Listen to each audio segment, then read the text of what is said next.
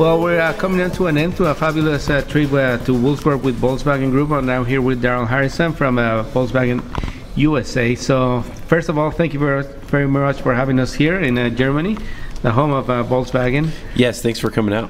No, thank you. So uh, we uh, did the whole show in reverse because we started with the Autostadt, Mm-hmm. which uh, probably one of the, the Golf E will end up at some point. Yes, right, right. And then uh, we visited the plant where it's built. Yes, Then uh, we drove uh, with um, uh, Christian, who is one of the communications teams ma- uh, people here in Germany, and now finally here to know more about the car that is going to come out to the states. So the Golf E, uh, which actually we drove together uh, a few months ago in California. That's right, that's Remember right. that? That's right. Uh, so for a brief uh, time. So tell us about this car because um, it's it's it's pretty fantastic. I, I really enjoy it. absolutely. Yeah, the the e-Golf is the first all-electric Volkswagen from Vol- uh, uh, first all-electric from Volkswagen coming to the United States.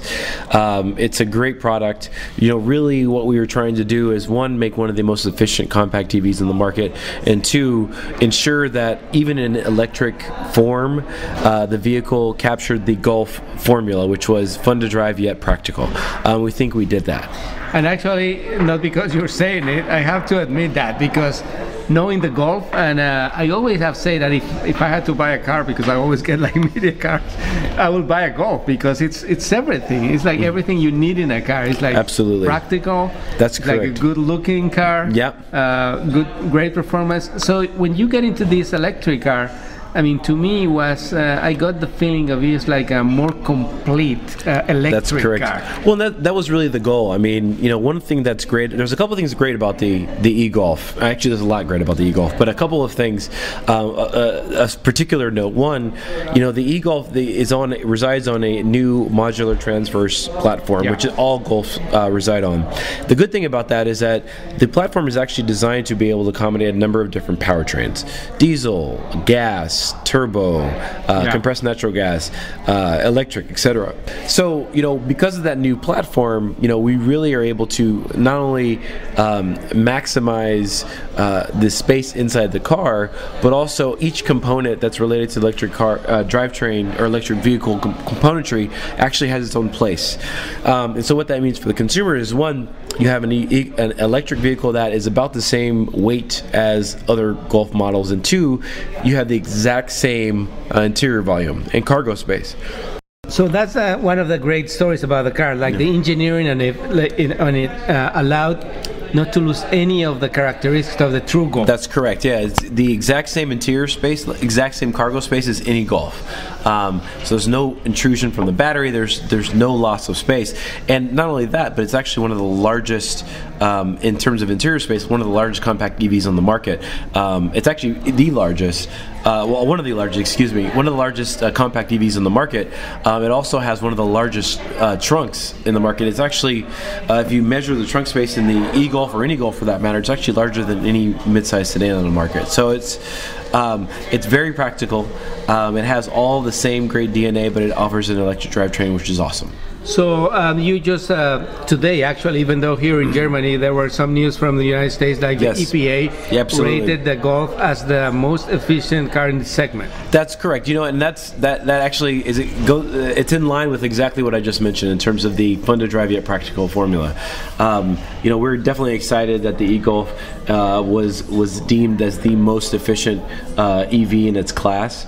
Um, 116 combined miles per gallon equivalent, or MPGE. 126 MPGE on the highway. 105 in the city.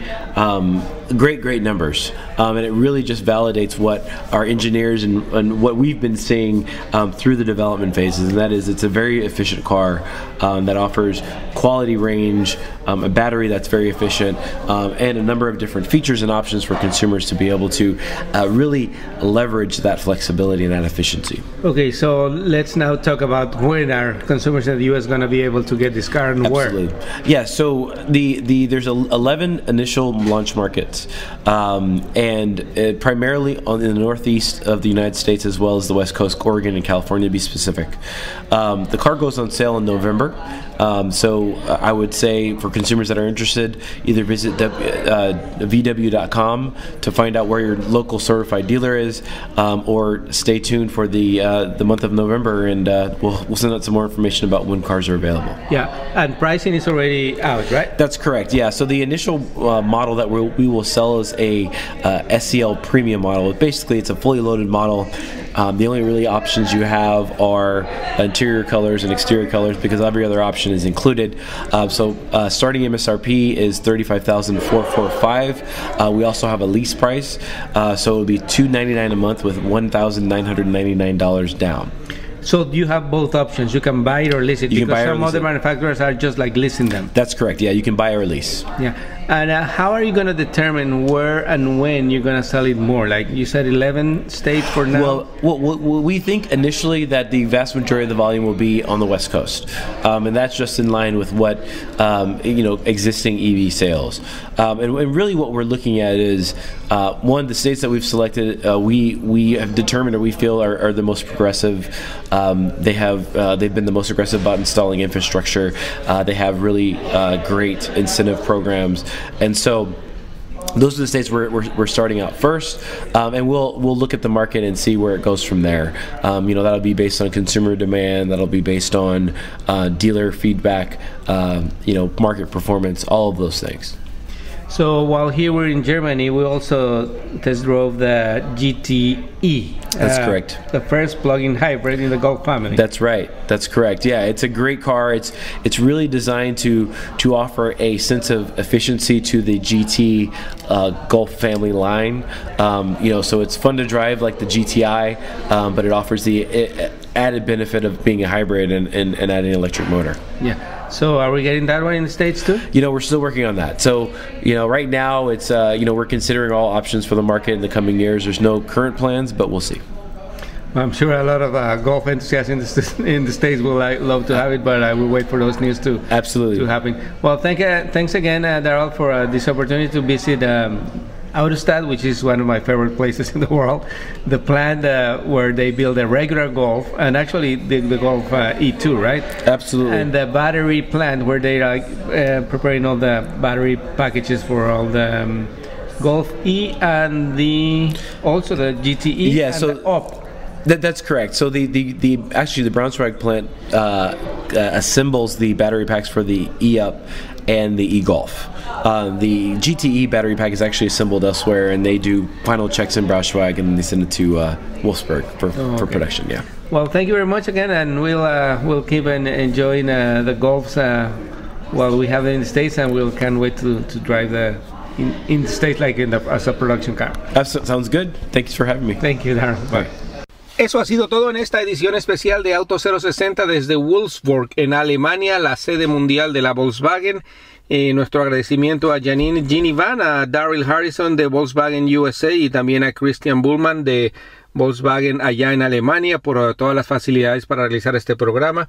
Y como siempre los invito a que vayan al canal de YouTube eh, Autos Javier Mota para que vean una gran cantidad de videos que publicamos sobre esta visita. Uno muy curioso, por cierto, Wolfsburg, como decíamos en uno de los segmentos, tiene una población de 120 mil habitantes, la mitad de los cuales trabajan para Volkswagen y obviamente eh, sus eh, familiares y sus amigos siempre tienen una relación directa con eh, la fábrica alemana. Y manejando alrededor de Wolfsburg es en realidad muy raro ver un auto de otro de otro fabricante. Al averiguar un poco más, los registros públicos indican que 94% de los vehículos registrados en Wolfsburg son de Volkswagen o de alguna de las marcas que pertenecen al grupo como Seat, como Skoda y Audi. Así que muy muy interesante este viaje a Wolfsburg, Alemania. Yo soy Javier Mota, nos pueden seguir en eh, Twitter, arroba Javier Mota y como les decía, visiten el canal YouTube Autos Javier Mota para toda la información y todos los videos. Los esperamos muy pronto en otra edición aquí en Cristina Radio Network. Esto es Auto 060.